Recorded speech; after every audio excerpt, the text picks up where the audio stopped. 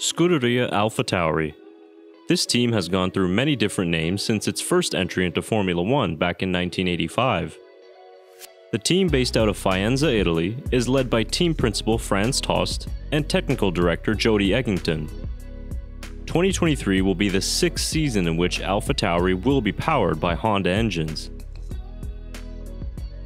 The team known as Alpha Tauri has only raced 61 Grand Prix, but they've had a successful run as a midfield team, picking up a victory back in 2020 along with two podiums. 2022 was a bad year for the Italian team, who hope to regain its form this season. And they'll have a new driver lineup as well in 2023, so let's meet Alpha Tauri's drivers for this season. Yuki Tsunoda is entering his third season of Formula One, having started 42 Grand Prix and scored 44 points along the way. 2022 was a quiet year for the Japanese driver, but he'll have another big challenge to deal with this year in his new teammate.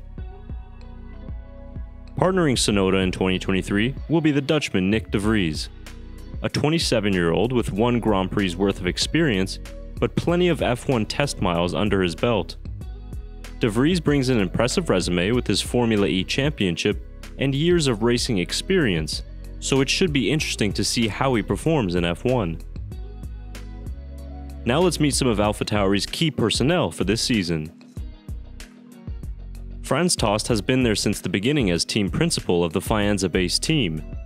With 22 years worth of F1 experience under his belt, Tost has led the midfield team to many memorable results and was integral in developing future world champions such as Sebastian Vettel and Max Verstappen. Continuing on as technical director for another season will be Jody Egginton. Having started out as a race engineer for Force India, Egginton has been with AlphaTauri since 2014 and was promoted to technical director shortly after joining the squad. To get AlphaTauri season rolling, they'll be doing a livery launch on Saturday, February the 11th.